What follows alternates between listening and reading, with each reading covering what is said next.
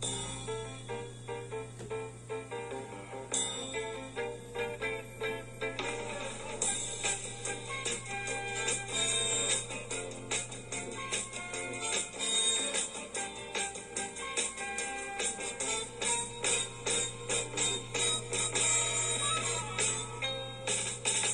pumukul sa pitit sa sangan ng isang kahoy.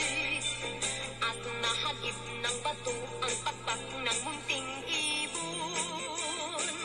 Dahil sa sakit, di na nakaya pang lumipad.